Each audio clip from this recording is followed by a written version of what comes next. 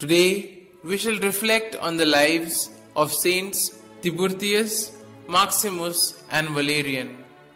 Saints Tiburtius and Valerian were two wealthy young noblemen of Rome during the reign of Emperor Alexander Severus.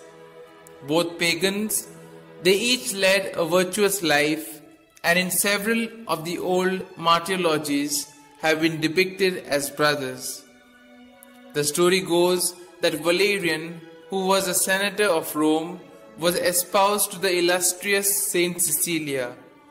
When the marriage ceremony was over, however, he learned that his Christian bride was secretly bound by a vow of chastity.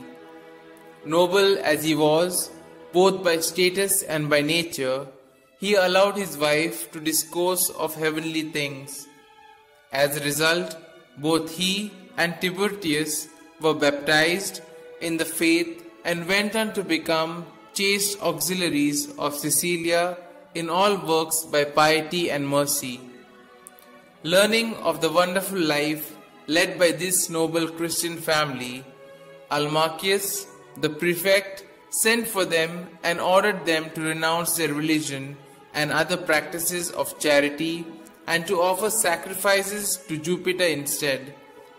Having firmly refused to do so, Valerian and Tiburtius were thrown into prison. Later, they were committed to the charge of a pagan centurion, Maximus by name, whom they were able to convert to the faith.